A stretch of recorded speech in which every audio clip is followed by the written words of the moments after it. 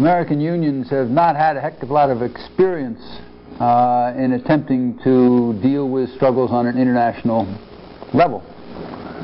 Um, internationalism at its best in the history of the American labor movement usually took the form that anybody that comes here is welcome into our organization. And uh, most of the times it wasn't at its best, uh, but that was the best. Um, the sense of common cause with uh, workers elsewhere um, is much more uncommon, and the question came up about the AFL's international role. We'll see how distorted that could be. But let me start with the industrial workers of the world, uh, since the question came up about them.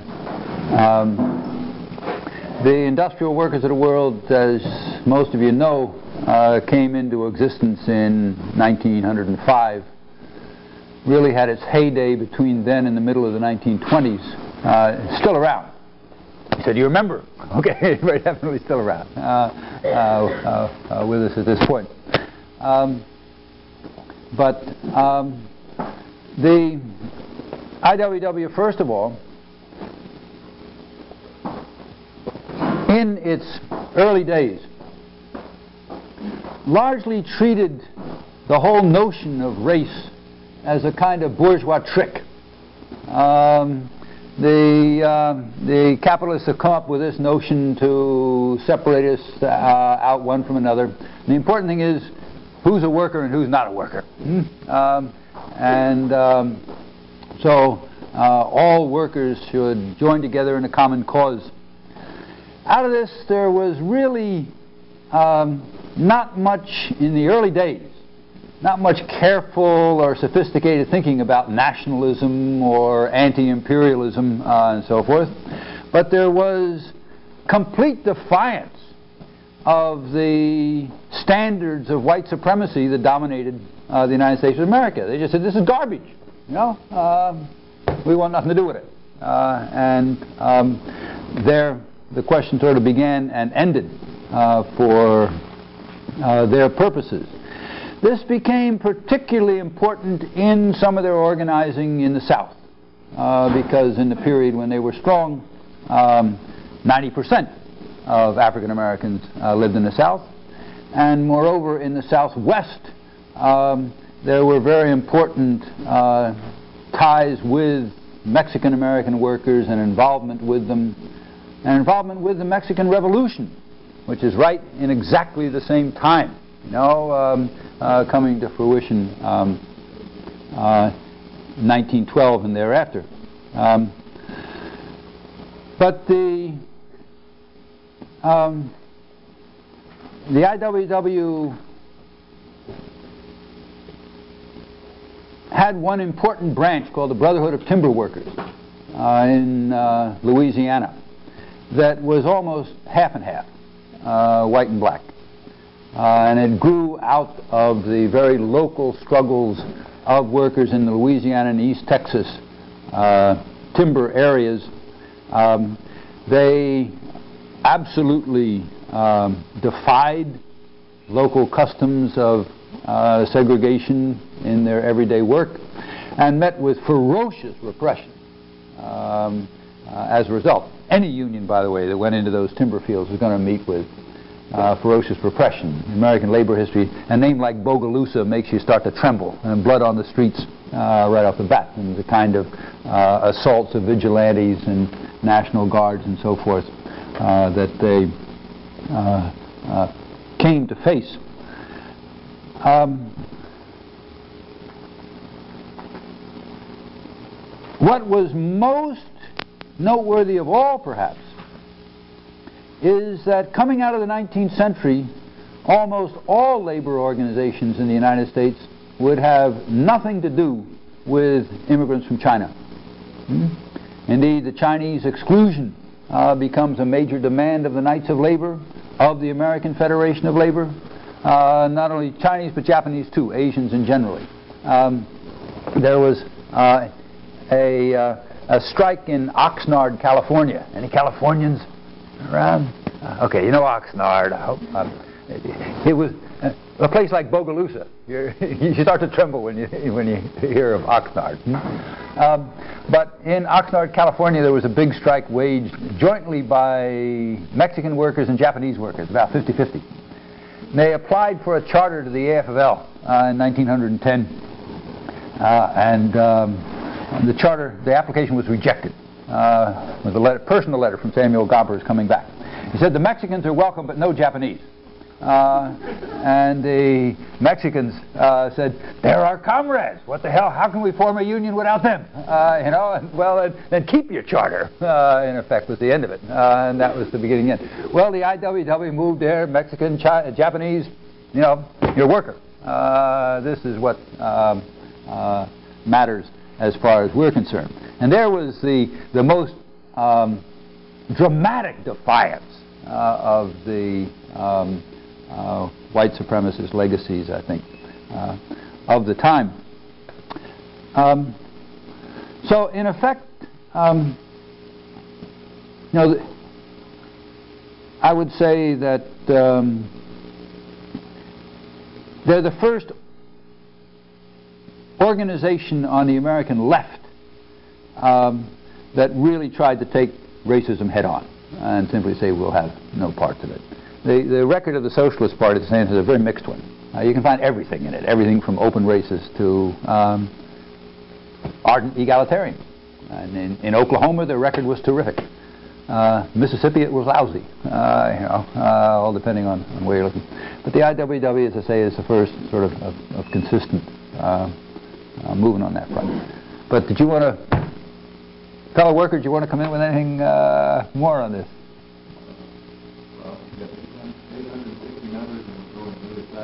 Okay. okay. Good. Yeah. Could you, along the lines of what you're saying, could you give us um, a little background on what happened to IWW? Were they destroyed or was it mm-hmm. leprosy? Or? Okay. Um, the IWW had its first heyday in the great strike wave that swept across the country between about 1911 and 1913. Um, after that, they grew on to have very special strength really in western timber and agriculture uh, over the course of the years around World War I. But they met with ferocious government repression during the war. Um, and uh, indeed, their entire national convention was arrested and sent to jail uh, in, uh, in 1917.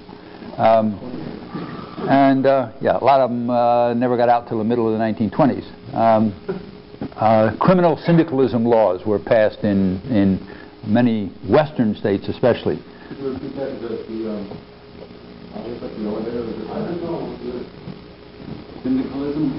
Criminal syndicalism, they called it, yeah. Uh, that meant that to conduct a strike for political purposes was against the law. Hmm? Uh, uh-huh. Well, okay, okay. Uh, so, so strikes for economic purposes supposedly were legal, but uh, a, the IWW is charged with political strikes. Um, since they always said the working class and the capitalist class have nothing in common, um, the um, the reason for our existence is not just to win a race today, uh, but to get rid of capitalism. Hmm? Um, and that should be done by direct action. Okay? Um, well, at any rate, they meet with uh, intense uh, repression during the war, but that did not stamp them out. Uh, and here I think there are a lot of histories of the IWW, that, and almost all of them act as though the end of the story uh, comes in 1917, 1918. Um, but in fact, the highest membership they ever had was 1923. Uh, and uh, at that point, um, waged a very large struggle on the Pacific coast uh, of maritime and dock workers um, with a combination of demands. Uh, one was to win a raise uh, uh, for the workers, and the second was to free class war prisoners uh, let all of our fellow workers who were in jail out uh, was, was the demand of the day. The, the federal government had very dramatically released the prominent socialist Eugene Debs from jail and said, that's it. Well, hey, wait a minute, wait a minute. You know, go out to Leavenworth, and there's hundreds of people still locked up there. Uh, what about them? I think. Uh, so uh, the demand comes in uh, uh, to uh, free class war prisoners. Um, they were. Um, um, Upton Sinclair wrote a novel called Oil. Uh, that is the best thing I know on that strike because there were ferocious battles on Liberty Hill in uh, in Los Angeles uh, in the course of that. Um, well, I don't want to go on all day with, it, with the IWW, but at any rate, that was sort of their high point. Um, they let me one final point because it's directly to the question you asked. One of the strongest locals of the IWW in the North was on the Philadelphia waterfront. And on the Philadelphia waterfront, it was not only a racially mixed local, it's the only place I know of uh, in that epoch, or indeed not many of them for a long time afterwards, where you have large numbers of white and black workers in the same organization and the key leadership was all black. Mm -hmm. And find the other way around uh, quite a bit. Mm -hmm. You know, uh, everybody involved with, with essentially uh, white leaders. Um, but it's basically black leaders uh, on the Philadelphia waterfront who then welcomed into their ranks large numbers of Poles and Slovaks uh, and Italians um, who also uh, uh worked on the uh, Philadelphia docks. Uh, it had a strange ending, that Local 6 did. In the end, they're expelled from the IWW. and expelled because they faced a problem that all dock workers face. If you want to control conditions on the dock, you've got to control who comes onto the docks. Everybody who's out of a job goes down for a day, you know, to the docks. The social workers finding somebody who needs help go down to the waterfront uh, for the day. Uh, so people are showing up just for the day all over the place. But if you're a regular, you know, and you're making your living there, it's hard enough to try and get together with other regulars. Who are all these other people, uh, you know, that, that, are constantly coming around? So finally, the IWW local in Philadelphia uh, says, no, he says, uh, we have a very small uh, admission fee, but you got to pay it, you got to have a card, or else stay the hell away uh, uh, from the docks. And the IWW says, the National, we're open to everybody. What do you mean? You know, you're creating something exclusive here. Uh, I see, uh, just for some workers, and uh, kick them out as, as a result. But that's right about the point they do turn down. Um, yeah. There's a book by Anthony Lukas, who's which has gotten a, a, mm -hmm, a mm-hmm. great deal of publicity, mm -hmm. uh, the frame up mm -hmm. of Big Bill Haywood. Mm-hmm. Um, forget what it's called, but it's uh, it's being reviewed all over. Yeah, yeah. What is it called? Anybody? Huh? Big Trouble. Big Trouble, yeah. Um, the frame-up of the three Western Federation of Miners leaders who played a big role in starting the IWW, um, uh, Haywood, Moyer, and Pettibone. Um, strange book.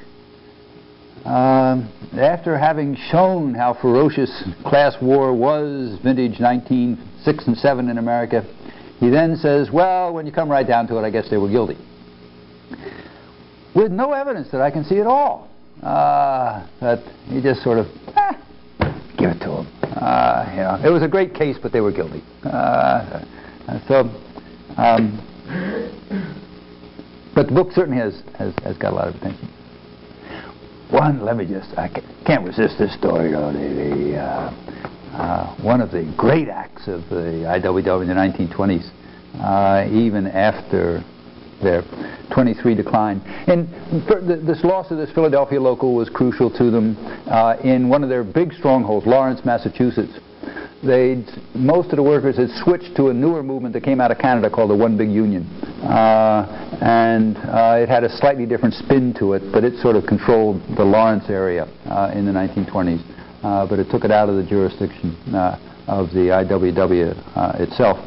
Um, and a lot of the IWW activists uh, went into the new Communist Party uh, in the 1920s. Um, and um, especially among the Finns, who had been a crucial uh, element um, uh, in, the, uh, in the party itself, in, in the IWW itself. So all of these things pulled away membership, but there was one place they still had a great impact. Um, I was warned just a little while ago uh, that uh, to remind you that the CIO did not begin in 1927. Something did happen in 1927, though. Hmm. Uh, namely, of course, the execution of Sacco and Vanzetti. Hmm. Here, these two Italian anarchists uh, charged with uh, robbing uh, a payroll in South Braintree and killing the payroll clerk um, after years and years and years of protests are sent to the electric chair on the 22nd of August. Well, as that summer of 1927 went on, there were demonstrations and strikes and protests all across America. Uh, the labor movement was virtually dead, but this issue uh, really uh, galvanized uh, people into activity again. Here in the garment markets of New York, there were gigantic protest demonstrations all across western Pennsylvania. Coal mines were down. And here's where this comes into the IWW. How many ever heard the name of Ludlow? Okay. Ludlow, Colorado, the scene of the bloody massacre of uh, United Mine Workers members uh, in 1914. Yep. Uh, the Rockefeller companies uh, succeeded in defeating the United Mine Workers then. Actually, they didn't wipe them out. It wasn't until 1921 that they really got rid of the United Mine Workers uh, in the Colorado Fuel and Iron Company uh, and made it non-union. The 20, that was United Mine Workers, United Coal Miners, Coal Miners, United Mine Workers of America. Uh, no, people love to think, you know, it's West it's radical. Fighting must be IWW. Nope, nope. It's the old UMW AFL, uh, right, uh, uh, that, that was involved there. Hmm? Um, but the, um, uh, there's no union at all then, except some kind of a company union uh, thereafter. And as the 22nd of August approaches, I forget just which date it was on, there were uh, six members of the IWW working in those mines. They said, we got to do something. And they ran out a leaflet saying, strike for Sacco and Vanzetti. The next day, six mines were totally closed down. Hmm? Out en masse. Huh? Italians, Mexicans, Greeks, Bulgarians, whoever, out uh, for Sacco and Vanzetti. Huh? And they, the Wobbly said, well, look here. Uh, if we couldn't do all that, let's call them out on strike for a raise. It didn't work. Um, so here was, was one important uh, late uh, chapter in the IWW history. The place where the Wobblies retained the most important base among industrial workers into the 1940s was Cleveland, Ohio. And Cleveland actually had a couple of steel mills under IWW shop control uh, in the 1930s until 1948. Hmm? Uh, after the, the Taft-Hartley Act really uh, put the kibosh uh, uh, on them there. Um, and this had a powerful impact on the nature of the CIO in Cleveland. It made it much more radical than it was in a lot of other parts of the country. Because it spoke of industrial unionism, but there was another version of industrial unionism hmm? uh, that was also on the ground. People knew it. People knew it. Uh, and so the, uh, the local Cleveland uh, CIO was sort of uh, pulled in that direction. Um, but uh, yeah, um, for a, good long-term history, you may have a better one, but I would start with Fred Thompson's, the IWW, its first 75 years. he's, he's the current um, uh, General Secretary. Yeah.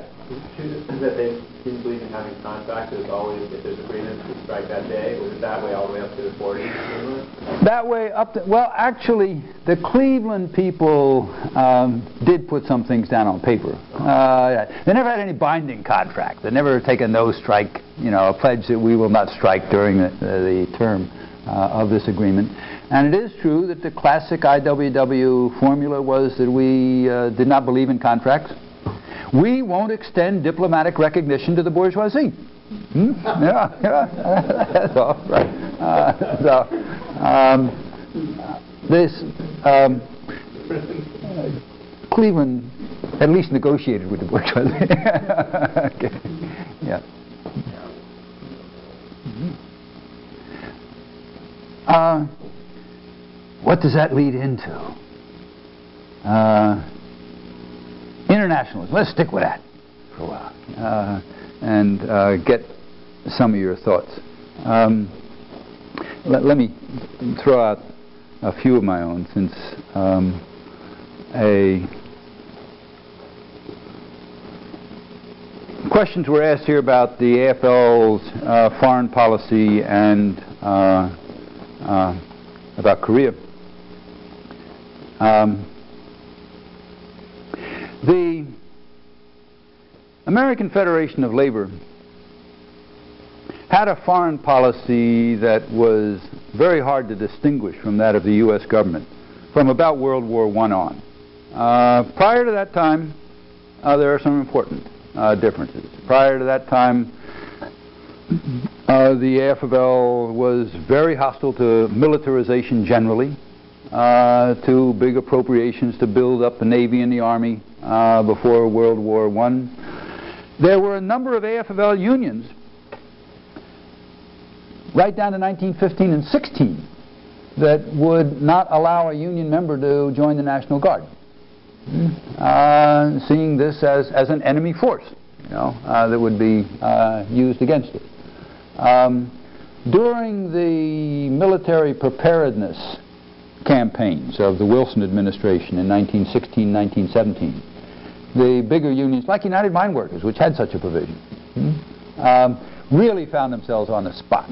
Uh, and uh, to try and escape from being seen as enemies of the nation and so forth, dropped uh, uh those um, provisions even though there's still an awful lot of uh, opposition in the AFL to the U.S. entry into World War I. Um, popular opposition was enormous uh, around the country as a whole. Um, but, um, uh, oh look, who were the two big ethnic groups of the early AFL? Hmm? Irish and Germans. Hmm? Find Germans enthusiastic about going to fight their uh, cousins. Hmm? Uh-huh. Uh, you might have a good conservative German paper like one from Cleveland again that said in 1917 when the U.S. declared war, it is time to put aside protest and demonstration and in the spirit of the suffering Kaiser, hmm, learn to fight for our new homeland. Hmm? How's that? How's that? How's that? All right. Um, all right. Uh, but at any rate, it's a little hard really to sort of throw your back into it uh, when this happens. And, and the Irish, fight for America, fine. But for the British Empire? right? Um, so, you know, there, there's a big group, uh, they're called the Indianapolis Group, because uh, the Union headquarters are all in Indianapolis. That, they're very, very hostile to getting into the war. Uh, I'm not, of course, socialists openly against it. These are not socialists. They're not socialists. Uh, uh, just worry about that, that war. But um, Gompers is gung-ho. What President Wilson wants, I want. Uh, so. And really, from that war onward, uh, the two policies were hard to distinguish, except on two points.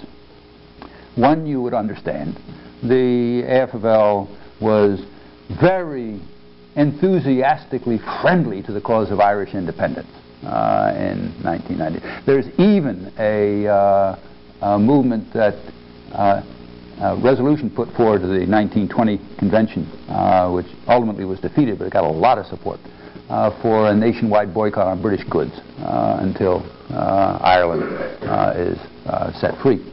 Um, the second one, and one that hit directly to U.S. foreign policy more, was that the early AFL, for all of its support of U.S. policies elsewhere in the world, tended to be rather friendly toward the Mexican Revolution. And um, Gomper's, Gomper's great hope was that there would be an, uh, a Pan-American Federation of Labor, hmm, headed up by the AFL. All right? And if you want to have a Pan-American Federation of Labor, you've got to start with the country that's the revolutionary leader of the Americas uh, at the time, Mexico. Hmm? Without the Mexican labor movement, forget it. You know, there's no game. There's no game. Hmm? Um, uh, and so uh, the AFL is very much campaigning for recognition of revolutionary Mexico, uh, for coming to terms with it, uh, and so forth in the 1920s. That's sort of the last important point of divergence between U.S. Uh, State Department policy and the AFL uh, that I know of. Um, and uh, certainly from World War II onward, uh, not only did the Federation uh, support uh, the whole Cold War position of the U.S., it generally tended to be even more gung-ho than the State Department was. Uh, and uh, to um, send emissaries uh, around to cultivate sort of anti-communist union leaders in Europe uh, and Japan. You remember the State Department assigned Japan to the CIO and Germany to the AFL hmm? uh, uh, after the war. So uh, the um, uh, AFL emissaries play a crucial role in attempting to. Um, a tough job. How do you come into a country that's been under Nazi rule since 1913 and find somebody who has no Nazi past and is not a communist? Ah, you get a rather fine-tooth comb uh, uh, out here. Um, but they did find a number of old socialists and so forth to uh, bring forward uh, and cultivate them then into the uh, leadership of um, this uh, new labor movement.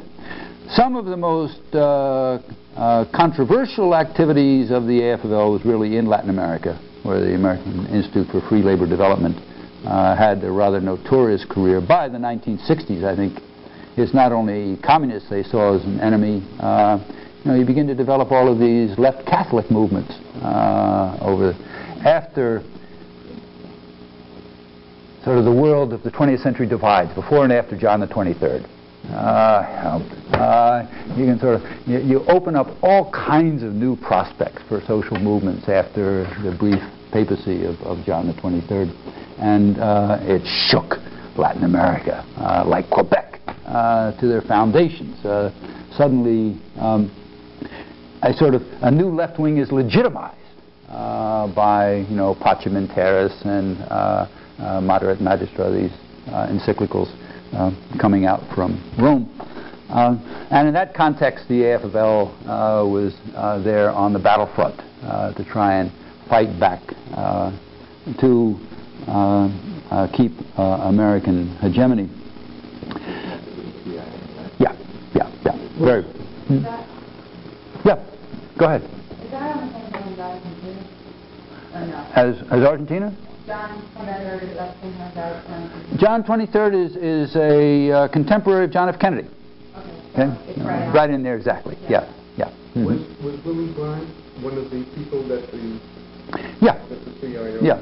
Yeah. Uh, they, uh, the, the, State Department preferred the Christian Democrats uh, to Brandt, but here was Brandt. Brandt was sort of ideal for this, a, a, socialist who had actually fled Germany in order not to be recruited into the German army uh, and so forth. You know, and hidden out in Norway and had ties with the resistance uh, there uh, and so forth. Um, Norway is a good place. Well, that's another subject. yes. Um, so. Um, Big question. What's happened since 1995? Maybe some of you know more uh, than I do. But it does seem to me that... Um, remind people... 19, what happened? The the... Oh, yeah, yeah, yeah. Um, okay, yeah, in certainly enormous uh, battles within and around the labor movement uh, develop around uh, uh the war in Vietnam uh, with both the, well, there's no longer both, with the AFL-CIO. Um, as Mike Quill uh, would have said, uh, the CIO had been eaten up by the AFL uh, in 1955 um, uh, with a merger that then took place.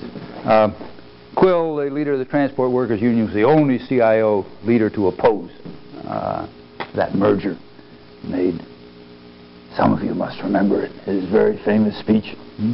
We opposed the AFL because it was racist. What's changed? Hmm?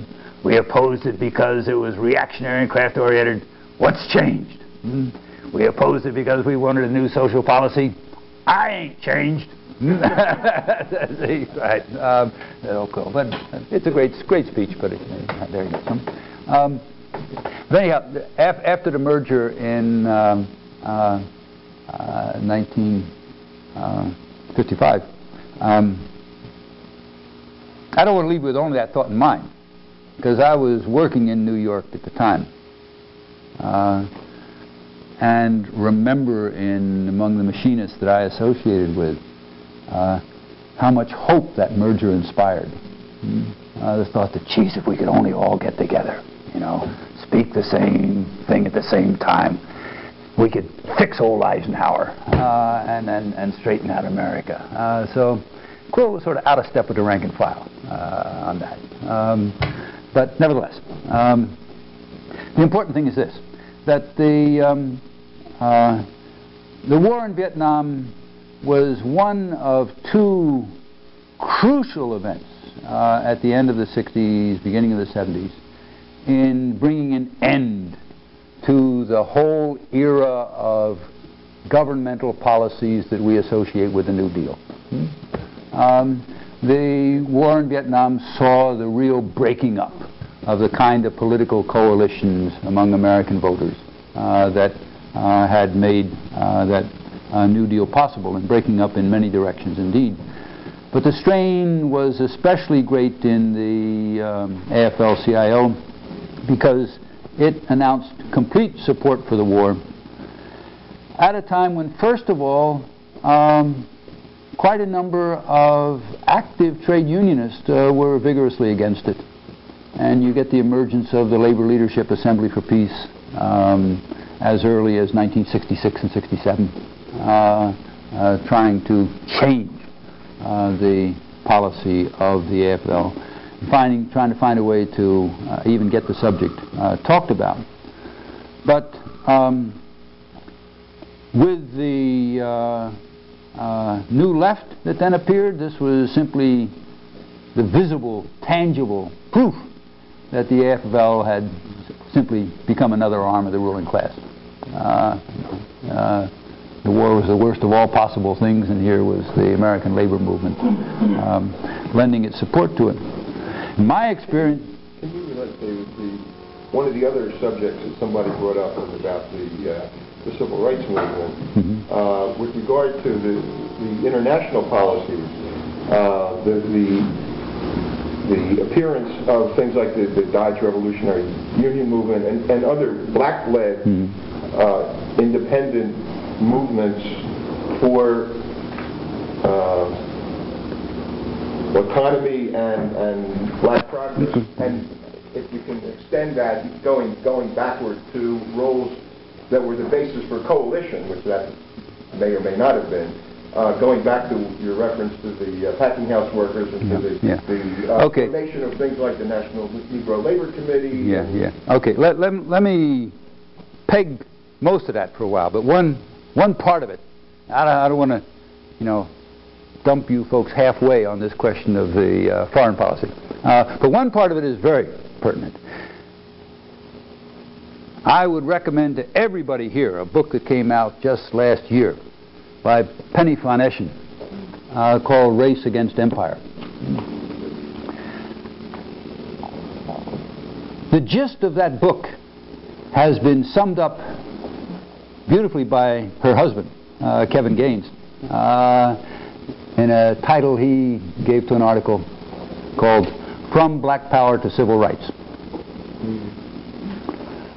Now, your question, of course, implies just the other way around. First comes the civil rights struggles, and then comes black power. What's he mean? What's Penny Eschen's book all about? V-O-N-E-S-C-H-E-N. What von Eschen argues is that during World War II, in part out of the struggles around Ethiopia that I was talking about a little while ago, but then, with this mobilization of uh, mass struggles for national liberation, among other things, during the war,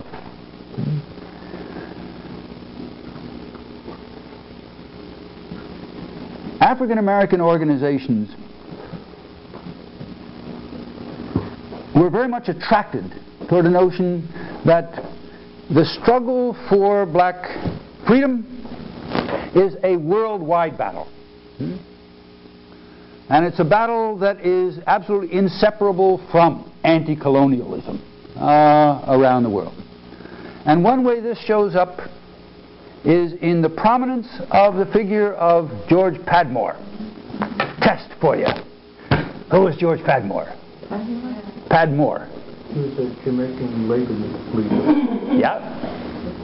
Yep. We can't really hear that The Jamaican labor leader. Yeah. Oh, thank you. Jamaican labor leader, one time the most prominent black leader in the Communist International. Hmm?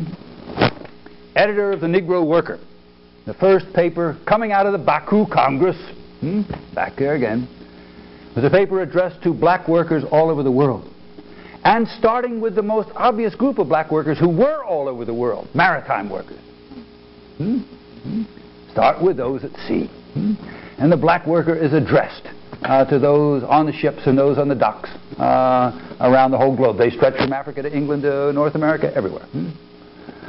Padmore develops among them a sense of um, the central role of peoples of Africa and of African ancestry in world liberation struggles. He stayed with the Communist International until the development of the Popular Front policy, when he broke. He broke. And his argument was very simple and blunt. He said, the International is now calling for collective security by the democracies against the fascist powers. But which ones have colonies? Hmm? Hmm? Germany had none. Italy was trying to get its first hmm? uh, in, in 1935. Uh, no, France, England, Holland, these are the great imperial powers uh, no, of the world. Hmm?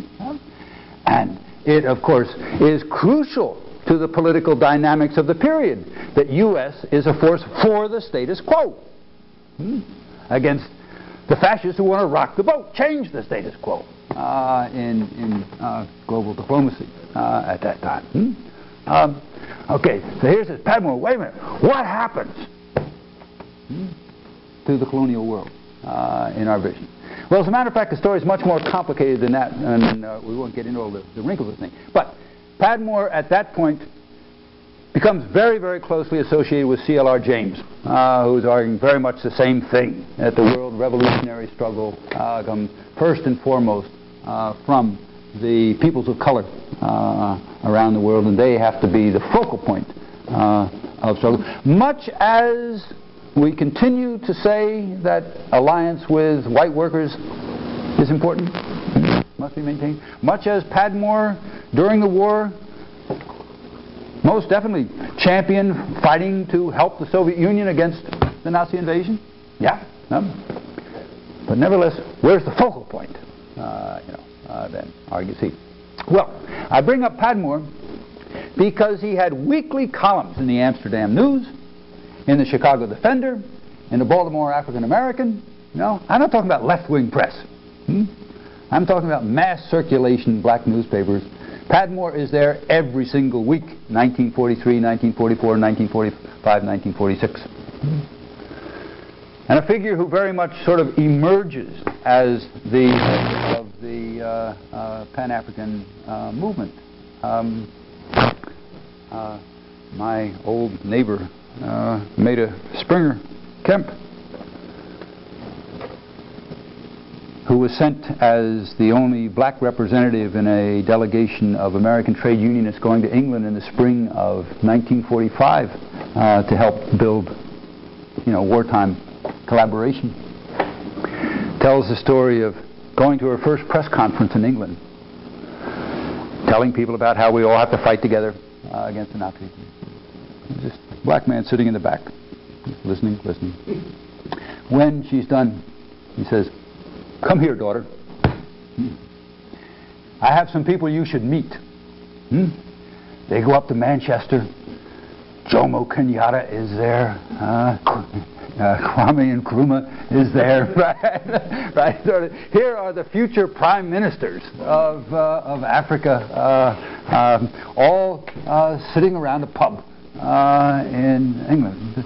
Talk to them a while, uh, says Padmore. Um, um, and this indeed becomes the centerpiece of her version. Well, okay. This is George Padmore, and I use him just as an illustration of a, of a kind of that, that official NAACP resolutions are talking the language of anti-imperialism uh, in 1945 and 1946. It's that that's turned off by the Cold War. Hmm? That's turned off. By the Cold War, says von Eschen, civil rights becomes a domestic issue. Hmm? Something in America. Hmm? Something to prove that the United States is really living up to its principles. Hmm? Uh, and this is the way then uh, uh, the cause uh, is to be argued. And Padmore's columns stop in 1947, stop appearing in the Baltimore African American, stop appearing in the Chicago Defender, stop appearing in the Amsterdam News. As now the orientation is this is a domestic uh, question uh, in the context of a world fight between capitalism and communism. Yeah. civil rights where does the impulse uh, come from? If it's, a, if it's to realize American democracy, is it coming from the state? The impulse for civil rights? Yeah. it's coming, uh, yeah, in 1945-46. That's not at all, all hard to tell. Um, first of all, there's been uh, a migration of millions of black Americans into urban centers of the North where they can vote. The Democratic Party has to take this into account. And it so definitely takes it into account. In, in 1946, Paul Robeson and Walter White together visited President Truman. Yeah, in 46, Paul Robeson and Walter White were buddies, hmm? uh, allies. Right? Went in to see uh, President Truman and said, 46 veterans of the war have been lynched and murdered since Japan surrendered. Hmm? that was right. Hmm? What is the federal government going to do about it? Hmm? And with this pressure, the new voting force that's there, with the, the sense around the world, how do you sum it up? Uh, some of you may have seen uh, in, in, the Family of Man, there's a photograph there from Indonesia in 1945 um, with a streetcar uh, going through Jakarta and men, women, children hanging all over it. And on the side of it, it's written in English, all men are created equal. Hmm, right? Uh, meaning what? Meaning, you know, the Japanese Empire has been defeated, but damn, we're going to let the Dutch Empire come take us once again hmm? uh, back to power. This, this is uh, the mood that, that it's unfolding around the world. Hmm? And this is something that the Truman administration is very much aware of it. Um, they're aware that I was in the Army in, in 1946, and I remember when the big thing we all dreaded in the spring of 46, right after Winston Churchill's speech Hmm? About uh, yeah, the Iron Curtain speech, in which this the one that Henry Wallace replies to, on how Britain and America must stand together to protect civilization. And all the soldiers I were with said that means they're going to send us to fight for the Dutch Empire. Hmm? Count me out. Hmm? Uh, was uh, uh the first uh, response that was made. Hmm? But Britain, the British Army had already started bombing in Indonesia uh, the week before Churchill's speech. Okay, so Indochina. Indonesia. No, sir. I'm glad you said that. Indonesia, not Indochina. Huh? Uh, the French were trying to come back into into Indochina. Uh, yeah, uh, at the same time. Um, and so, and but the Vietnamese, like the Indonesians, said, you know, we're not getting rid of one empire to welcome back another. Uh, right? Uh, so, um, the State Department knows all of this. You know, and fact, the U.S. ultimately figures out will we be better off, you know, if Indonesia is not Dutch, maybe we can get it, uh, you know, uh, into our sphere. Um, so the ultimate U.S. formula is uh, allow an independent Indonesia provided they kill enough communists, uh, which uh, uh, is the, the, the 49 formula there. Hmm. But here then was a, a dynamism, a force that gets very much unleashed in the United States. And at the very least, let me say, you're gravely mistaken if you imagine the civil rights struggle as something beginning in mid-1950s uh, in Alabama. The World War I years are, World War II years, are crucially important for the development of the whole demand for fair employment practices, for the demand for an anti-lynching law, which was always uh, the centerpiece of, of the legislation. Yeah. Along the lines of what you're saying, like, well, I- two things to say. but Along the lines of what you're saying, um, I remember when my father telling me about the guys who came back from World War One and being in Europe and they would feel like human beings, or even better than human beings. Mm-hmm, mm-hmm. And they had to come back and, you know, find people too, and Mhm. walking on the side of and never looked one in the eye, and they said, well, enough of that, and then I guess that's when it started, right? Mm-hmm. Mm-hmm. But um, along the lines of you saying that the civil rights movement became a domestic issue, Yeah. Um, wasn't that not necessarily the case in every situation? Because uh, Malcolm X was going to go to the UN Mm-hmm. and bring a suit against the United States for violating human rights, not just civil rights. Okay. That- Yeah. That's Pan-Africanism right there. Yeah, okay. All right, uh, uh, two points on this. Uh, and also, of course, some of you may remember the uh, Civil Rights Congress petition to the UN in 1946, hmm, charging the U.S. with genocide. Hmm? Um, and uh, so here again uh, was an appeal coming from inside. Uh, this again is picking up on uh, this post-war wave of lynchings uh, that uh, had swept across the country. What I think is crucial, just to make sure that I get the first question answered first here, is that by 1948, it was clear to the Democratic Party that their future lay with urban America and that there was no way of carrying electoral majority in urban America without black America. Without black America.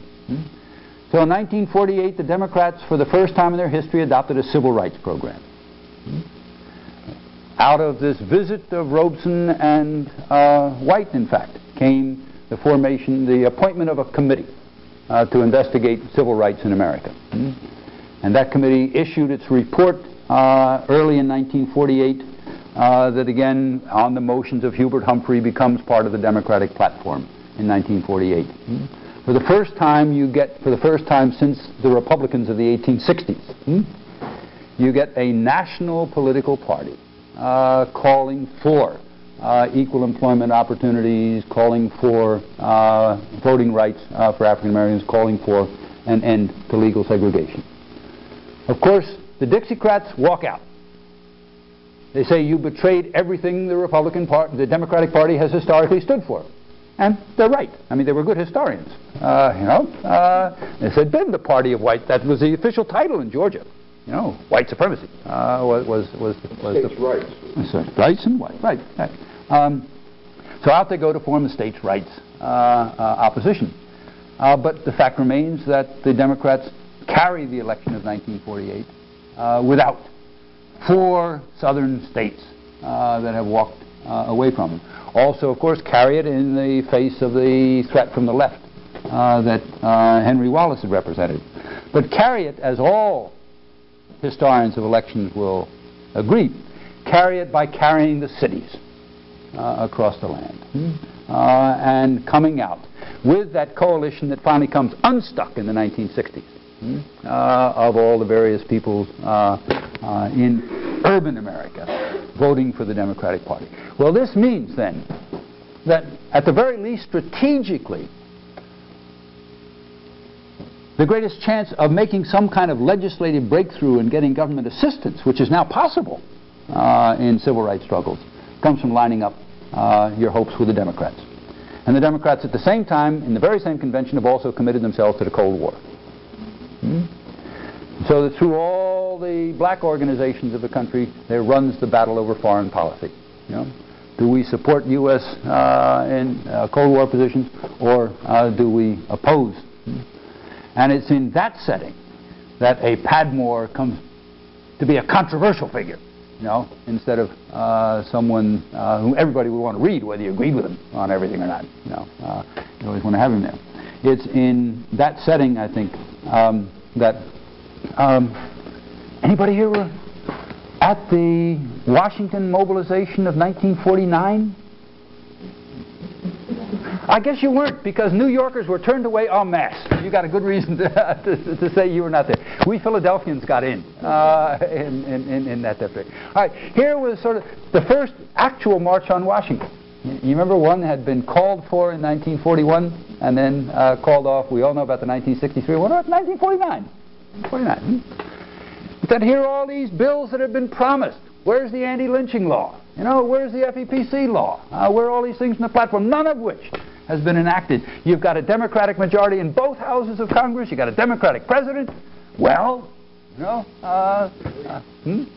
Has a familiar ring to it. Has a familiar ring to it, right. Uh, so here's the cry. So, um, this mobilization uh, came from all over the country is basically for lobbying uh, uh, en masse. There were not huge demonstrations in the streets or anything, but huge numbers of lobbyists came down. And at that rally, hmm, the NAACP had people, oh, Herbert Hill uh, was the person in charge of doing the job. Hmm?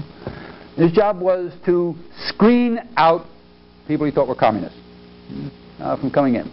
Communists. Hmm? And two delegations were especially suspect. New York and North Carolina. Hmm? And from those two, they're turned away en masse. They figured I was with the Philadelphia delegation. That looked sort of, yeah, let them through. Uh, you know, uh, we, we didn't have, they couldn't watch everybody, uh, but nevertheless, there's where uh, the attention was concentrated. And then we went before uh, the Democratic leaders of the House and the Senate, who all told us we'd get what we wanted if only we voted communist and proved ourselves, um, voted Democrat and, and, and proved we, we, we, were good, good loyal anti-communists. Okay. Here, here's sort of a symbol of, of the, the domestication of the issue. You know, it, it's focused in here. Now, you're absolutely right. What happens over the course of the 1960s is that that process gets reversed. There's some beginning of a reversal in uh, 57, 58 with the independence of Ghana.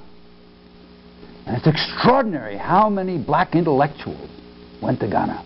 Uh, you know, as soon as this black African republic uh, came uh, into existence, um, there was um, well, number in the thousands going over to see what was there, help uh, in that struggle, bring uh, the, uh, the message back. Uh, and Nkrumah, the uh, new prime minister, uh, knew this, knew how to work with his overseas friends very effectively. You all, if you don't remember, you should. Nkrumah's inaugural address as the first free prime minister of free Ghana Freedom is declared at one minute after midnight, and all is dark in the center of Accra. with Huge crowds gathered. The Bell strikes 12. Floodlights go on to the top of the governor's house, and there is Kwame Nkrumah standing in his prison clothes. Ah, okay, uh, right. At last we are. All right. This then becomes sort of the the symbol, you know, uh, for for a new era. Um, but it also means that subsequent to that, although the early civil rights uh, struggles, even many of the most heroic ones, um, were fought within the ideological parameters that the Cold War uh, allowed. Uh, some of you may have seen the films of, say, the students going into um, Central High School in Little Rock, where the very courageous NAACP leader mobilizing these very courageous youngsters to go. Uh, it's recorded on film. Tells them, remember your part in the war against communism. Hmm? Uh, to prove that America I have never seen that. You were really holding my Congress professor. I've never heard this, this uh, telling of history enough. Oh. Hmm? Um, um, I'm sure she had some more persuasive arguments, but, but this is- what you're saying is true. They made a terrible mistake, but as a result of it now, we have African American leaders like Colin Powell mm-hmm. and uh, guys who've got Coleman. Brown Brown, people like this. Mhm. Hal Volpe Brown voting for ridiculous things. I mean, I, before that, we had some kind of policy where we had some solidarity with other people who were struggling. Now I don't think we have that at all. Mhm. Well, it did begin to resurface uh, in the late 1960s, and especially in the context of the Vietnam War. You, you spoke of uh, Malcolm X um, and um, his role, the whole Black Power movement, again, uh, stressed solidarity of uh, black peoples around the world. And Martin Luther King, in the last uh, year and a half or so of his life, is very much uh, speaking this language of, of international solidarity. So, you know, few things in this world uh, change forever uh, in one direction or another. My point is that the early Cold War makes this divorce. And then the question is how to break back out of it. And then, as you point out, who breaks and who does not break uh, back out of it uh, in the um, uh, subsequent years. Manning Marable's book, uh, Race, uh, Reform and Rebellion, starts off with a chapter on the Cold War and, and, the, and, and the alienation between the civil rights struggle and the workers' movement, Mm-hmm, mm-hmm, mm-hmm. and, and the repression of, of, of the communists and the consequences. hmm Okay, so this, this I think is something of uh, uh, of uh, crucial importance to us. Um, one last word on the question I started out on. Um, the uh, uh, since the Sweeney administration has come to power in the um, uh, AFL-CIO, uh, we can sit here and debate for hours and have very fruitful debate on what's changed and what has not changed. Um, but one place that seems to me the most visible, dramatic change is evident is in the foreign policy department. Uh, there was a virtual house cleaning uh, of the old people. You largely had to come through the Social Democrats USA uh, to get in uh, to the foreign policy work of the uh, of the AFL-CIO, um, and uh, uh, that group was simply fired. Um, in part, of course, now the Cold War was over, so there wasn't the same pressure uh, to make uh, communism uh, the focal point of uh, the labor movement's foreign policy. But in part also, uh, there was uh, a clear awareness um, among those coming into office that American capital uh, now produced all over the face of the earth. And what went on in workers' movements elsewhere uh, is vital to us. The questions that we were faced with was not simply fighting to see to it that Italians or French and so forth uh, did not adopt communist leadership, but rather if um, there was a strike against Firestone, Bridgestone uh, in both France and the U.S., uh, there could be some kind of collaboration uh, and coordination here. Now this is something they just begin to feel their way toward. They've had the main thing that's happened is they brought in some remarkable people uh, just to sort of join thinking about this. Uh, there's a, a book that you may have seen by uh, Jeremy Brecher and Tim Costello, uh, Global Village or Global Pillage. Um, uh, it is a, uh, a fascinating little handbook on how to struggle in a globalized economy uh, you might want to look at. They invite Jeremy Brecher to come down to the AFL-CIO headquarters. Well, this is unthinkable, you know, in earlier. Now, I'm, most of this still is on the level of talk and personnel, but nevertheless, I sort of, as an anecdote along these lines, I just, they had this conference at Columbia, labor and intellectuals organized Mhm. together Mhm. a year ago, maybe Mhm. now. And it's interesting because there was a panel on this whole question of what are they doing internationally, and they had someone sort of stand up and talk about AIFLD and how they relate to AIFLD now. And what they said is basically, well, we want to make these alliances, you know, we want to organize people in these, in these third world countries, how are we going to do that? And what they said is they basically end up using APO people now, but they're basically those people that know on the ground who's who, Mhm. and so they feel like they can start to divorce them from their old politics and start using them as functionaries. Mhm. So Mhm. sort of Good luck, yeah. Yeah, yeah. Um, Well, uh, yeah, Um, all of this, of course, is very tenuous. In fact, I'd say the whole uh, reform turn in the AFL-CIO is very tenuous. Uh, But nevertheless, it is something important, I I think. uh, Well, that- along those lines, I mean, I don't, I guess the thing I don't feel is answered in what you said is, what, what is the necessity for AFL-CIO taking this very Cold War-like position? Hmm, okay. Why, why, how did it benefit them?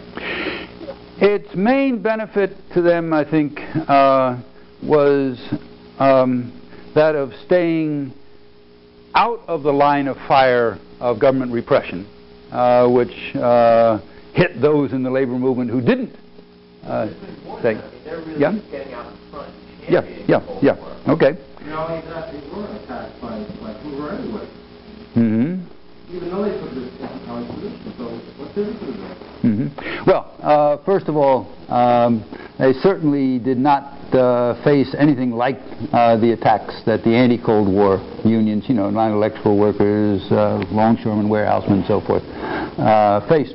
Uh, but secondly, one of the great lessons that trade union movements in every imperialist country learned already during World War I um, is that uh, a movement that agrees to uh, side with the patriotic cause of its government um, can actually not only not be attacked by the government but actually encouraged uh, in, in its growth. Um, and when they look back, World War II was the moment when this very clearly happened. Uh, when everybody agrees on no strike pledges and everybody supports the war and so forth. Uh, fact remains there are government agencies making it very easy to organize. The CIO picks up a lot more members during the war than it did in the 1930s. Uh, this is when they sweep through, you know, and, and ranking in uh, the new members. Well, then the question is, can you break with that? Can you go back out on your own? And clearly the leaders of the AFL thought, no, the, the dramatic moment, if you want. I've been coming up with too many dramatic moments to illustrate something, but, but here, here, here to illustrate. 1947, the Taft-Hartley Act is passed. Hmm? Anybody who wants to run for union office has to sign a non-communist affidavit. Immediately afterward, there's a convention of the American Federation of Labor. Has to decide what to do about it. Hmm? And there are two unions that said we will never have our officers sign non-communist affidavits. I bet you can't remember what the two are. Mine workers. Mine workers? Nope, wasn't in the AFL. Typographical union. Typographical union. Um, there they have a good reason. Typographical union said, we were here long before any of these other people were even born. You know, we go to the 1850s. What do you mean we got to take an oath that we're not communists or something? Know, damn if, if we're going to do any, any such thing. Uh, you know, um, we invented trade unionism, uh, um, and and moreover, who needs an NLRB anyhow? Uh, you know, uh, every every printer goes by the book, uh, and, and and that's that. And uh, with the United Mine Workers, they're now at the peak of their strength. hmm? And John L. Lewis, of course, says uh, that we're better off without government. If we can't use the NLRB, who needs it? Who needs it? And he gets up at the 1947 AFL convention and makes this thunderous address to that effect. Hmm. Who follows him to the platform? Chairman of New York and the Secretary Treasurer, George Meany. This is the making of his fame. Hmm. George Meany gets up and says, I don't know what kind of a world John L. Lewis is living in. But we all know darn well that there's no way for a union movement to survive when it defies the government. And maybe you guys in the mine workers think you can pull it off. But the rest of us will be eaten alive, says he. He said there's no choice but to sign it. And furthermore, I have no hesitation in saying I never was a communist, I never was a comrade. And he looks at John L. Lewis and says, and I never was a comrade of the comrades. Carries today the vote overwhelmingly AFL going to sign. Uh, the uh, non-communist affidavits, use this governmental machinery. I think that's the crucial thing, uh, which uh, they see as so crucial to them. Um, so yes, to fix yourself into a certain niche in society uh, rather than uh, being this opposition movement, I think was the crucial thing. The um,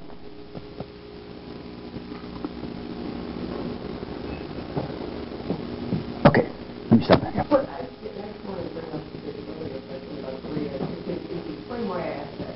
It seems to me that, uh, we have, it would be unrealistic to imagine that the American labor movement would take the lead in the creation of international unionism in our lifetime. I, I, I- it- it- not, but irrespective of the wishes of people at, at the AFL-CIO Mhm. headquarters, because workers' movements around the world would have no reason to trust former AFL operators, for Mhm. example, who are now saying, geez, we're, we actually care about. The workers' movement now instead of undermining communism whether we see it or don't see it. Um, uh, so I think that, and I think it's very difficult for Americans to follow international news. So I think that we don't know very much about workers' movements around the world. We need to know more. Mhm. And, um, uh, and that's a difficult thing to do. You know, you it over the internet, and, you know, if, if we live outside New York City and you don't have WBAI, I don't know what to listen to, you know. When you listen to it, what you uh, you read the multinational monitor, but even so, it's difficult to get this news out there. So I, that's why I raised this question about Yeah. the Korean workers. Yeah, uh, and it certainly is has long been a very different sense in other movements. I can remember going to rallies in Italy in the 1970s and seeing always on the platform somebody from Chile, somebody from South Africa, you know, uh, somebody from Vietnam. Um, this was just you'd expect it uh, when you went out uh, to a workers' meeting uh, that this was going to be uh, part of the discourse uh, that uh, then went on. And that certainly has not been uh, the legacy with which most of us have grown up uh, uh, here in uh, the United States. Um, it's also crucial to keep in mind that the most effective working class movements that come to my mind developing since 1970 uh, around the world, or exercising their power uh, since 1970, have all been outside of the old industrial uh, heartland of Europe and North America. The three most obvious are South Africa's, Brazil, and South Korea. And in some respects, um, uh, South Korea uh, is especially noteworthy. One claim to fame they have the only workers in the entire world who have ever organized international business machines. Nobody in Europe, nobody in North America has ever broken through IBM. In Seoul they did. Uh, you know. Um, but here has developed a movement that we'd have to look at closely because its whole ideological character is very different uh, from uh, what it is that we're familiar with. Our notion of what's right-wing language, left-wing language, and so forth um, uh, is not theirs, but that has demonstrated e enormous militancy, um, taking advantage of the fact, I think, that industrial development in South Korea has tended to be concentrated in the hands of a handful of enormous companies that make, you know, Hyundai makes ships, you know, refrigerators, automobiles, uh, you name it, uh, all under one conglomerate roof. And also the workers are literally under that roof. The housing is all company uh, housing, you know, the apartment complexes and so forth. Uh, there's this total concentration of personnel that one find there. Put that together with a ferociously repressive state um, that has agreed, like most of the so-called Pacific Tigers, uh, all of them in fact, have agreed, that the key to economic development is low wages. And the crucial thing to continue and maintain growth is to keep your thumb on the workers, uh, to see to it that they don't develop appetites uh, that are too big. And therefore, we want to encourage every kind of freedom of economic activity while the workers keep their yaps shut uh, and go to the jobs and do what they're told. Um, well, that hasn't been the mood of the South Korean workers. And uh, in recent years, of course, there's just been strike after strike after strike after strike. Um, the uh, uh, Kim Dae-jung, who now to the horror of the business pages is in a position to be possibly the next president, um, has been all of his life associated with the working class movement uh, in uh, uh, South Korea. This is why everything was mobilized against him in the in the last uh, election. Um, the um, you know his policies uh, and often would look quite strange to us, but there's no question where his base is uh, and what kind of a movement that he reflects there. So that uh, here we have a context in which um, workers' movements have been developing there. In South Africa, of course, where the trade unions played such a crucial role in the in the whole liberation struggle. In Brazil, Brazil, ah, uh, E.J. Hobsbawm once had the indisputable proposition that every labor party in the world appeared between 1880 and 1920. If he didn't make it in that gap, it was too late. He hadn't heard of Brazil. Uh, yeah, uh, the Brazilian one comes on uh, in the 1970s uh, and becomes a major contender for national power, uh, emerging um, not only out of the industrial areas, of course, much of the um, uh, the most revolutionary struggle going on in Brazil now has gone back to the land again as its focal point among rural workers in that country. But nevertheless, in, in each of these cases, we've had this very dramatic demonstration of the fact that um, we're a long way from the world of the Second International, where I began my lecture this afternoon. You know, where sort of labor movements are associated with Europe and uh, the rest of the world tags on uh, uh, somehow or other. Um, uh, that is very clearly not the world that we're faced with. And the question is what kinds of alliances, you know, what kind of mutual support can develop. A few people in the U.S., largely in the UAW, uh, came up with the idea of sort of organizing branches of U.S. unions in Mexico uh, and elsewhere that struck me as one of the worst ideas I'd heard in many a year. Um, and apparently they ultimately came to agree. Um, that every country has its own traditions, its own way of doing things, its own style of unions, its own laws.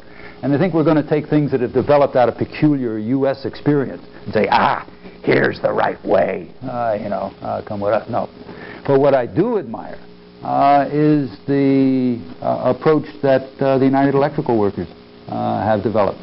Of, and in, jointly with the Teamsters, by the way, in the Maquiladora areas, of um, making common cause with uh, workers' organizations that the Mexicans themselves have created. Hmm? And particularly the so-called autonomous unions, the ones that are not directly under the administration of the, of the state um, and finding ways in which uh, uh, U.S. workers can throw their support to struggles in Mexico and vice versa. The UE already had a wonderful payoff in, um, in Milwaukee uh, when they were engaged in an organizing drive and found um, uh, a very large portion of the workers, close to half, were immigrants from Mexico. And uh, they were rather suspicious of U.S. unions, uh, as you would expect. So the UE just called up their friends from the maquiladoras and said, hey, come on up, give us a hand. Hmm? And uh, they came hmm? uh, and talked about what we've been doing together in Mexico, what we can do together in Milwaukee. Boom, they win uh, uh NLRB election uh, uh, right off the bat coming out of this. Um, but this, this is not trying to put everybody under the same umbrella. You know, this is not trying to put them all in the same organization. Each one has their own way, huh? uh, but nevertheless finding ways to uh, lend support is crucial. Uh, certainly no U.S. union could have organized IBM in Seoul uh, you know, uh, that had to be a South Korean organization uh, that would do that.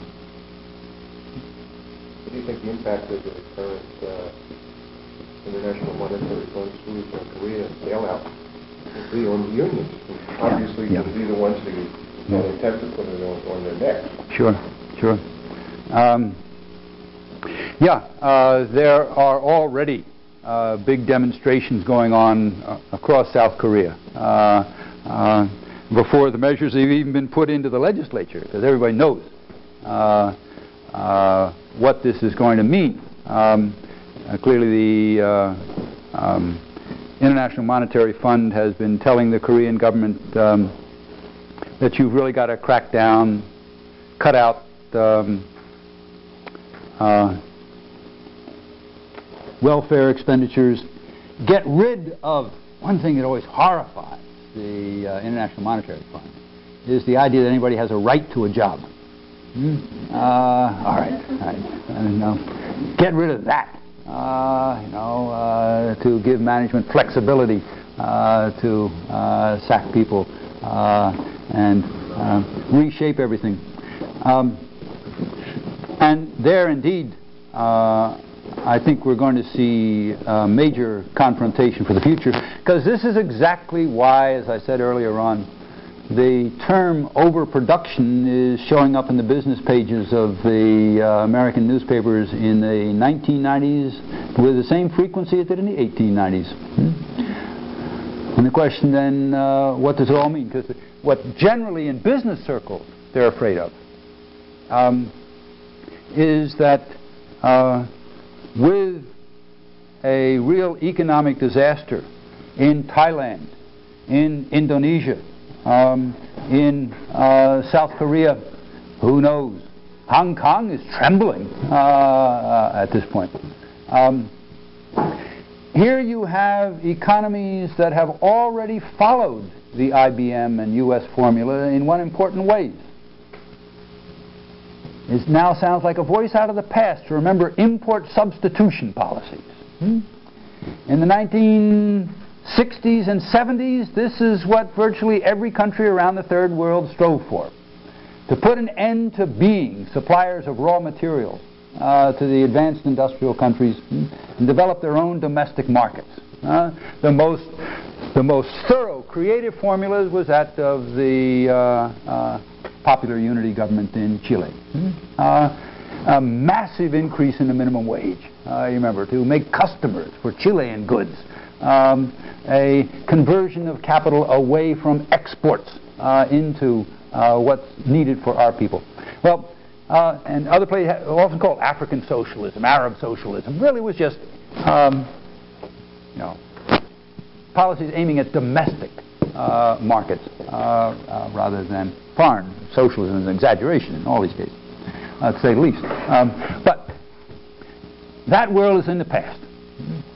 And indeed, the prevailing uh, mood in government throughout the third world for a good long while now has been that that, say, Henrique Cardoso's regime in, uh, in Brazil uh, illustrates so dramatically. Um, that um, there's only a limited amount of capital flying around the world. We got to grab some of it. Hmm? And if we're to grab some of it, we need to set up policies that will be attractive uh, to those investors.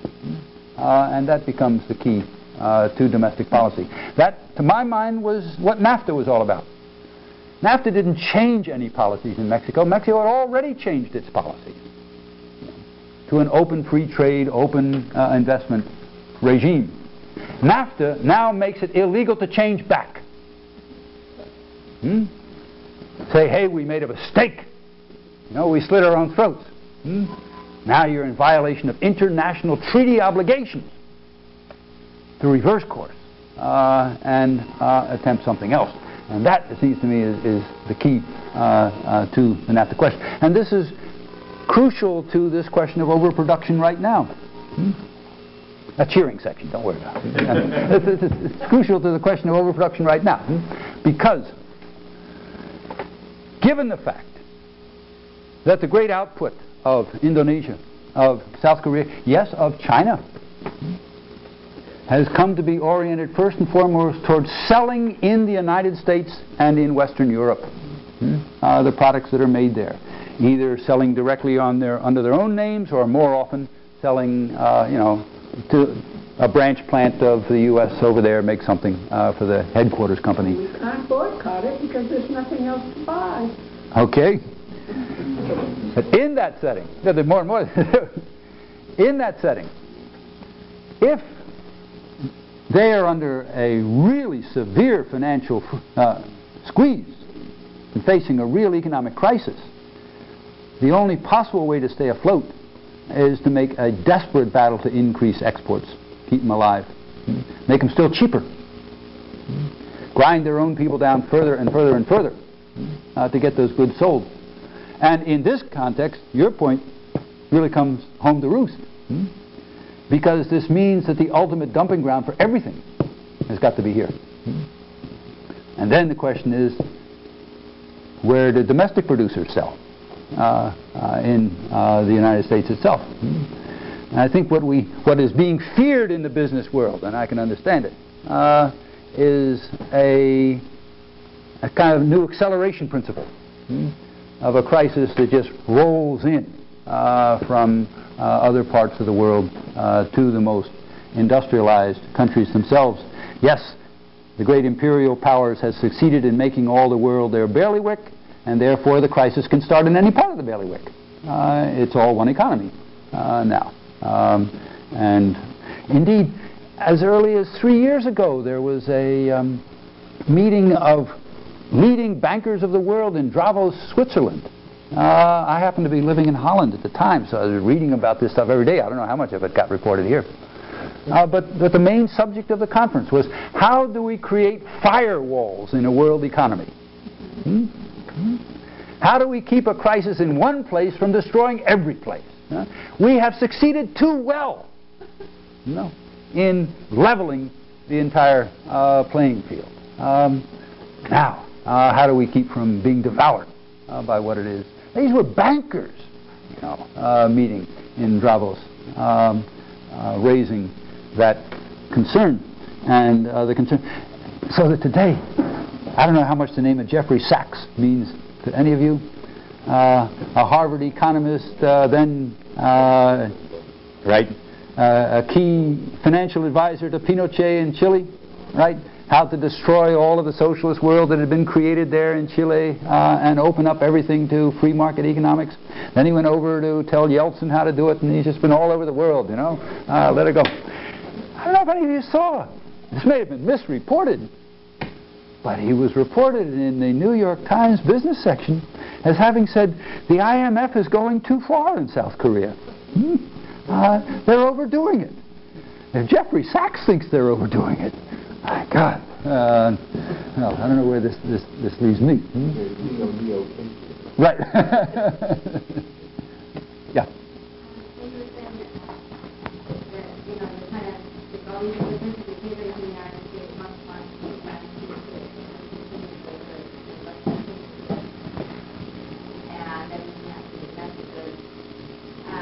It seems that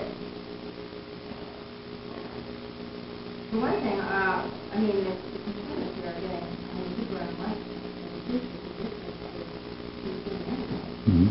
And the other is, mean, one thing that bothers me about the thing is it's so much based on an industrial model. Even what we're talking about is still based on, you know, this idea that there's going to be factories producing things, you know, and it seems to me that there ought to be a more kind of natural, organic, and holistic way to approach it. You know, outside, I mean, really, this industrial model is extremely ugly. And, um, you know, people could be bartering or they could be doing things. I mean, I think, you know, we're, we're so far moved, we've become so dispossessed in every way we don't, we, can't, we don't have the, you know, we don't have the, the land to even grow our own, our own food and step out of it. You know, and uh, I, I, I have a problem. I mean, I think everybody takes it, and I, it seems to be a fact that here we are on this roller coaster of industrialism and capitalism, you know, and, and we take that as, as given. You know, and we're trying to find solutions within that. You know, and maybe that's realistic, but, you know, I would, I think, uh, this whole mode is very restrictive to me, and it would be nice to, you know, I don't know if you have any ideas about how to step out of this kind of thing. You know? Yeah, yeah. I think you have to distinguish uh, a bit more uh, pointedly between the the industrialism part of that and the capitalism part of that. Um, uh, as, as, as early as, uh, as the manifesto, which was 150 years ago, Marx said that the great accomplishment of, of capitalism was to create a world market, this kind of integrated production, distribution, exchange, um, currency kind of flow. But with it comes the contradictions that are so, so uh, very severe and so evident today. Mm-hmm. Mm-hmm. Yeah, it's a, yeah. yeah. You on this? The problem is uh, that Marx is a dependent on classical economics about so that if you try and reconceptualize the equitable distribution of income or across the world, which is one of the, the aims of socialism, there's nobody's home. And then I also wanted to remind you that in a thousand years, there's always about 10 or 12 great style socialism class the third mental men. Uh, there are a lot of people who tinker with the categories like Hooker, you know, talking about social ecology, but to reinvent a whole economic scheme by which both survival across the world and some amount of the necessary money for, you know, um, medical services and education and other kinds of things. There's nobody home doing that. I'm not sure what we're supposed to conclude from that. Hmm? I guess hopefully. okay, okay. But let, let me, yeah. Just wanted to go back. Well, oh, well, let me just say one, one thing on, on this, this general question that uh, the sister brought up here. Um, it does seem to me that one of the biggest challenges that all of us face right now is that of reopening our imagination. And this is something that can be faced only collectively. I don't think there's any one great man or one great woman that's going to sit down and come up with the answer, you know, uh, to the world that, that we face. But that there is a need to break out of a mindset that, especially since 1970, has become narrower and narrower and narrower. Notion that there's only one realistic possibility, hmm? uh, and that is profit-making systems and uh, market exchange. Uh, alas, um, even uh, the great Manley from Jamaica uh, just before his death, I got this quote out of his obituary, uh, recanted his earlier struggles for socialism, saying, I kept thinking you could make the world submit to a system of political management to safeguard against injustice and inequity. I did not realize that the forces of production are too powerful, their inherent logic too irresistible to be made subservient to political barriers on a permanent basis. And here is sort of the ultimate argument for free trade globalism. I give up. I surrender. Uh, that's, that's the only thing that's possible. Hmm? Um, and I think what... permanent basis, we're all dead. Okay, on a permanent basis, all, right. Uh, but I think what has been made evident in a lot of these recent remarks uh, is that that kind of intellectual surrender uh, puts us in exactly the trap that Karl Polanyi said was the heart of the problem in the 1890s. You remember that a system with nothing but a free market to control it will destroy its social and its natural substance. Hmm? the question on is how we think about both hmm? uh, in beginning to devise ways of coming to grips with this world. Those of us who were around in the 1940s sort of saw the, the last age in which something other than that was thinkable uh, in the United States. Um, I think especially. Uh, if you want to read something almost as short as uh, Marx's famous statement in the Contributions, the Critique of Political Economy, you know, which we see quoted so much that we're astonished when we learn it's only one page long, uh, you know, uh, to pick the thing up. Well, another one-page reading uh, for you uh, is in a book by Norbert Wiener, W-I-E-N-E-R, the mathematician who invented cybernetics. The book is called Cybernetics, written in 1947. It's all mathematics. But the introduction is in English. and in that introduction, Wiener says that he and his colleagues have provided the intellectual basis for an entirely new form of economic life. He said, just as the first industrial revolution may be, the first industrial revolution may be imagined as a devaluation of the human arm. There is no wage at which a pick and shovel operator can work that can compete with a drag line. You just cannot get cheap enough and be alive. So, so too, the second industrial revolution may be considered that of cybernetics, a devaluation of the human brain. As it has become intellectual processing, which have now become the heart of electronic devices that my friends and I have been inventing. now it's true that there were some occupations that survived the first industrial revolution. Certain skills that were needed went on. And he says some will survive the second. But the average human being, the person of mediocre attainments or less, will have nothing to sell that will be worth anyone's money to buy. Next paragraph. The answer, of course, is to organize society on some basis other than buying and selling.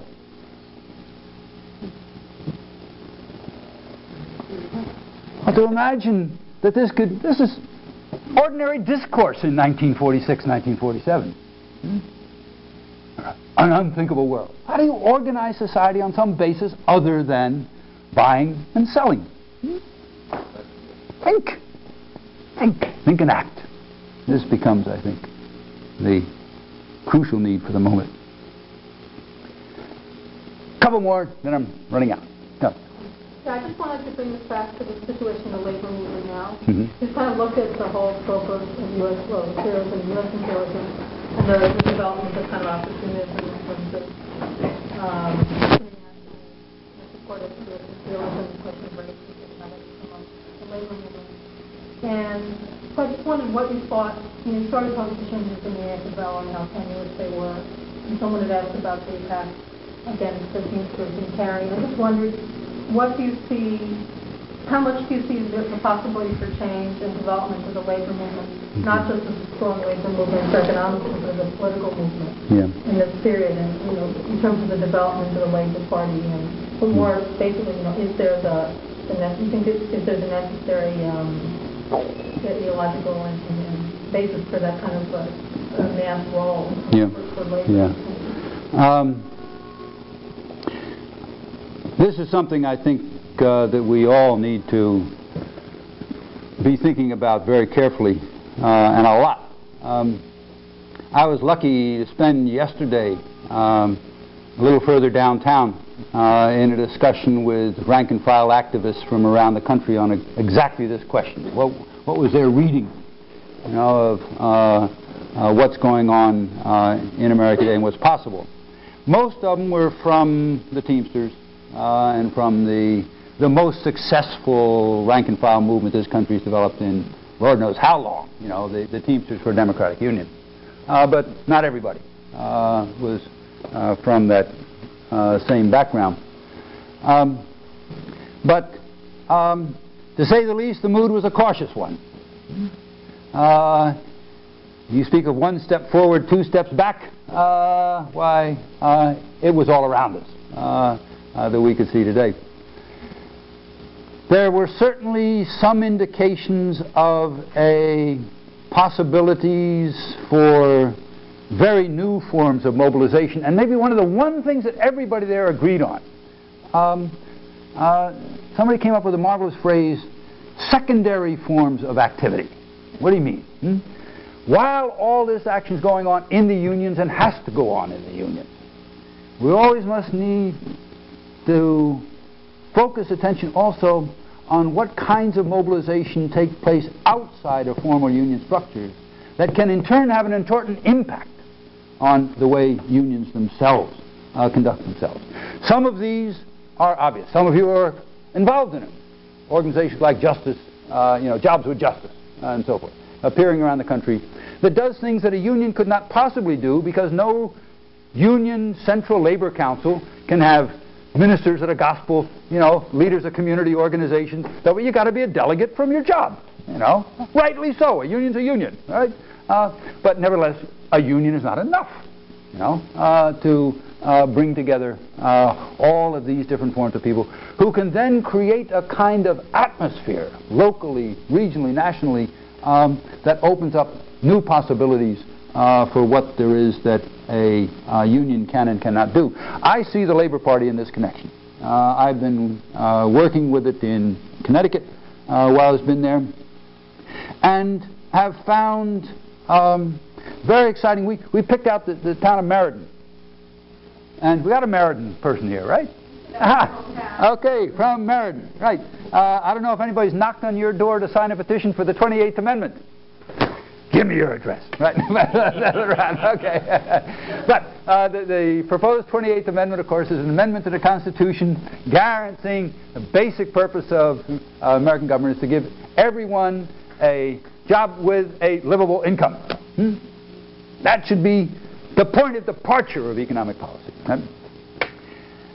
The response has been as enthusiastic as it can possibly be until you start moving up the hill to some of the fancier uh, uh, uh, homes in right, right, right. I know there's fancy people outside of Okay, right, right.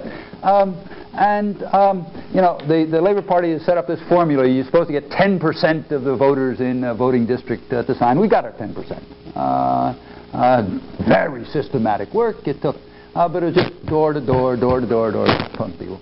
And now around to the next step of trying to form a ward club, um, which can totally change the whole nature of the Labor Party. Once you have a ward club, then what are we going to do? Huh? You know, what's your problem? Who do you want to run? Uh, uh, this, this kind of uh, basis for things. But this, again, has been basically involved in trying to create a, I'll get postmodern again, create a different domain for discourse. Hmm? That you can talk about subjects uh, that uh, that Manley just told us were impossible to think about anymore, uh, you know, uh, and make them part of uh, the activities of the labor movement itself.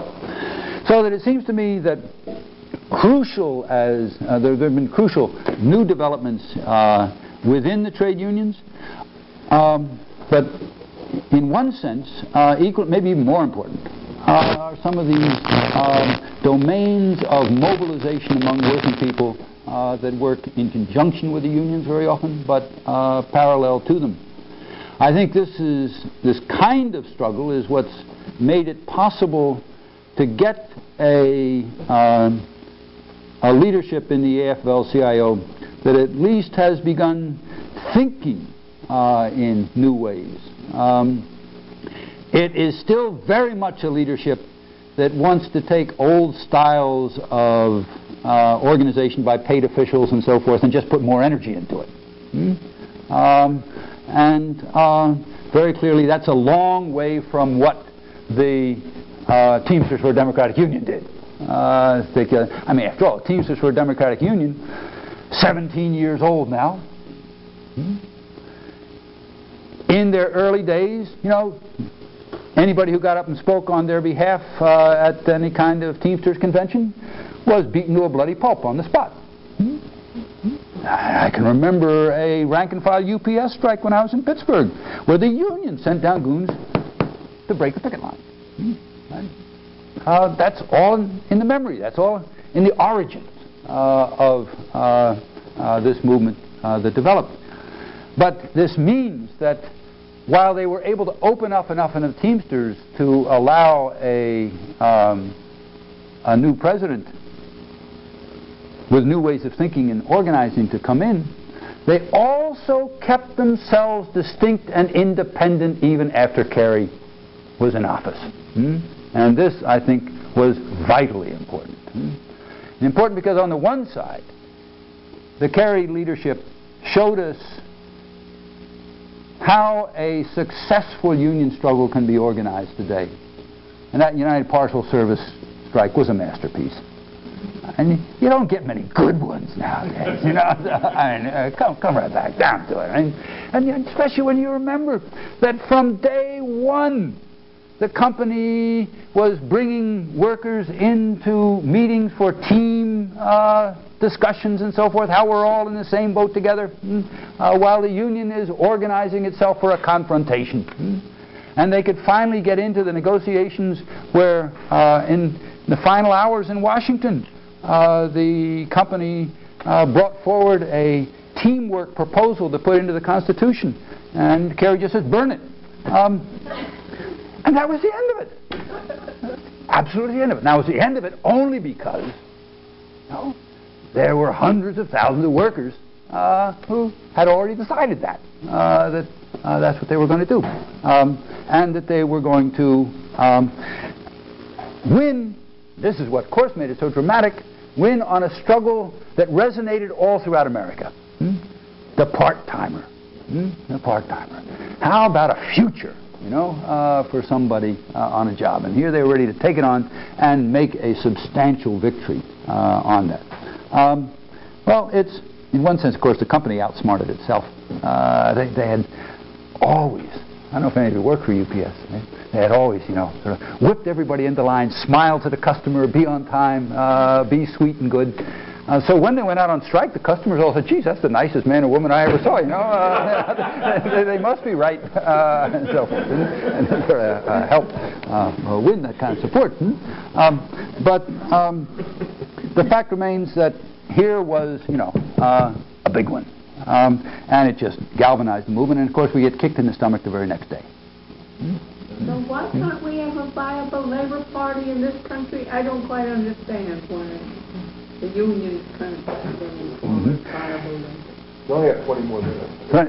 We got less than that. I got to go in five more minutes. Uh, well, I'll be, come back in just a minute. Yeah. Uh, this is more of a general question, but all of us here are leftists and women are leftists. When we talk, we already have a set up discourse. What do you do when you meet, I'm just asking for your Yeah, now, what do you yeah. do when you meet a regular person in the street and try to talk this way? Mhm. They, they already know that unions are evil, Mhm. or they're corporate unions. Um, the free market is, is written in the Bible, Mhm. speak. You know, you can go down the whole list Yeah. of aphorisms. Yep. So how do you start a conversation like, you know, someone immediately trying to kill you or think you're crazy or whatever? hmm hmm I think it's. Oh, let me have one more thing. Okay. I, um, no, I'm not going to drag this down, I'm just saying, I, I, my daughter has a history book. There is nothing in this history book, she's 11 years old, about labor history at all. Yeah. Or maybe something a little bit, you know, in the negative, but nothing positive about labor. Okay. Send her to Sarah Lawrence.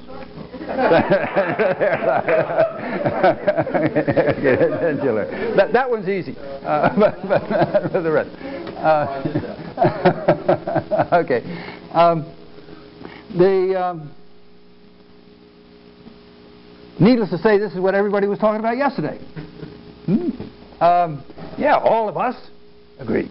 Uh, but what about everybody we deal with every day? Uh, yeah. Um, where do they come from? Um, and uh, I don't think there is any magic formula, but the, the, the two struggles that I've just uh, mentioned, I think, may give us some keys on this. Uh, one is that this question of the right to a job uh, is one that I've found opens up all kinds of things. Let me say that in New Haven, uh, about two months ago, we got the city council, uh, it's called Board of Aldermen there, to uh, enact an ordinance uh, requiring any company that uh, gets money from the city or contracts with the city uh, to pay a livable wage. Hmm? Now this came out nine something an hour, is basically what we're talking about. Um, a number of cities have passed one. We got one too. But in the day before, about 250 people went down to the board uh, to demand this. I went out with some friends to a, uh, a store to hand out leaflets uh, around the subject. And it was one of these old-fashioned stores that people still walk to. Uh, you know, you know uh, so it was an ideal place for handing out leaflets. Uh, you know, um, and uh, it was Saturday morning. You know, uh, uh, working people coming from all directions. It was the first time in my life that I have spent four hours handing out leaflets and had only one drop on the ground. Hmm?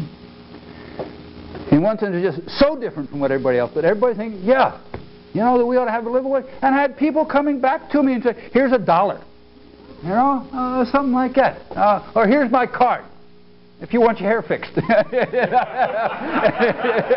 you know, come to me. Huh? Uh, but, but nevertheless, I mean, this, this, is, this is a response, you know, uh, uh, all around uh, uh, the place. See? Um, so here, in a sense, was just opening up something that, that seems absolutely outrageous from free market principles, but to ordinary people is common sense. You know, so so the first thing is sort of to find um, uh, where those questions lie, and, and, the second thing I think um, is that around the land I found much much less talk about unions as corrupt uh, and so forth after the UPS strike than before, and that's precisely why the indictment of Carey and Company is such a menace to us all. Uh, that's really a one step forward, two steps back one because uh, not just going to be Carey. There are going to be eight, ten very prominent people uh, brought up on trial uh, in the near future. Um, and one of the big things that we were talking about here was how we got into that situation to begin with. And one thing the TDU people all agreed on um, is that they had been shut out in one very important process. They helped elect a new administration that went down to office and to Washington and immediately started playing by Washington's rules. Went to Clinton to figure out how to get advisors. Got focus groups. You never had focus groups. They talked to everybody, uh, you know, uh, around the place. Hmm? Uh, got consultants uh, that cost money, hmm? and therefore all the money had to be brought up from someplace to get this. Hmm? And uh, the basic uh, belief of these, you know, Ken Paff and Steve Early and two, we should never have been doing that whole thing. That whole game is the enemy's game. Hmm? Uh, and we got to play uh, in another way. Right? Um, and, um, but nevertheless, it now has to be played against the backdrop of, uh, you know, a big mud pie in our face just as we thought we were getting someplace. You know? Uh, well, no, he's been he's been waiting for a long time. he's been waiting for a long time. The question is from the simple, but it's a question who is a worker? Mm-hmm. Why I'm asking you. Yep, yep. I've been following the A and the, the physicians. Yep. Are they workers? Mm-hmm. Yes. And so many other people like that. Mm-hmm. So the whole theme of who is a worker is changing. It is. It is. It is. Yeah. Do you, yeah. What do you, how do you... Uh, yeah. Ask a doctor. Ask a doctor, okay. Yeah. Um, clearly when, when, when I think about workers, I think of uh, people um, dependent on wages for a living. Hmm? Um, but that's become most of the population today. Hmm? Uh, we're virtually all either employees or unemployed uh, uh, around the land as a whole. Some paid a hell of a lot better than others, you know, uh, but nevertheless, uh, all there. Um, it's noteworthy, and you've got to uh, think about it in terms of mobilizations, that very often the most successful, durable organizations have come from people who are relatively better off among working people. You know, in fact, this was the old anarchist complaint against unions. Uh, they help the best off workers. What about, you know, uh, the worst off uh, workers hmm? uh, uh, that need it the most? Um, but I think what is important to your question today is that while on the one hand, the world of producers of basic goods in manufacturing has not at all disappeared. Not at all disappeared. I think that it's just wiped off the face of the earth. It's a great mistake. It's been spread around the earth. There's still an awful lot here in the United States. This is still an important manufacturing country. We can't just, you know, neglect that world. But at the same time, ever since the economic crisis of 1970, 71, 72, it's been clear a crisis because the question that emerged in the mind of capital then is where can we find new avenues for profitable investment? Hmm? In part it's around the world, and in part it's in the world of services, in the world of finance, in the world of merchandising, and the world of education. Hmm? Big bucks um, lie here. And indeed, with the money pouring into those areas, so the number of workers. There's a great article that, that the economist Emma Rothschild did in the New York Review of Books about 1981 called Reagan in the New America, in which she pointed out that as early as 1981, the number of new employees in fast food in the United States, she says, in the last 10 years, the number of new employees in fast food is greater than the combined total of steel workers and auto workers in the United States of America. Hmm? Or to put it another way, if you can imagine the entire labor force of Canada moving to the United States and going to work for McDonald's and Arby's, hmm? that's the new shift. Uh, uh, that is uh, taking place. So clearly, we're no longer just thinking about General Motors and Ford uh, when we're thinking about workers. But secondly, education employs about two and a half million people now around the country. Teachers. Staff, both. Hmm? Hmm? This has also been, there, there's a new book out that some of you may have seen. I contributed an introduction to it. Uh, it often goes under the name of Noam Chomsky, though, because the authors are just listed alphabetically. C comes before M, alas. Uh, uh, but it's called The Cold War in the University. There's a great piece in there on the economics of the modern university uh, by a man named Richard Lewontin. Hmm? On the way, on the way it is that, indeed, the Cold War created overnight an explosion of higher education and academic research and development uh, in the United States. You know, college in 1940 was something for about a million people uh, in, in the United States uh, to experience, a very, very rare experience. Now, half of the eligible population is in some form of higher education uh, around the country. Well, that had reached its peak uh, about the beginning of the 1990s. Hmm? And a real squeeze is on in that domain. And as that squeeze is on, of course, important things have happened that help indicate why it is that so much of the current organization of workers, so many of the people who now think of who's a worker, hmm? um, appears precisely in the academic world. There's a wonderful piece in the Chronicle of Higher Education uh, about two weeks ago by a Texas uh, oil executive who was a trustee of the University of Texas uh, giving thing.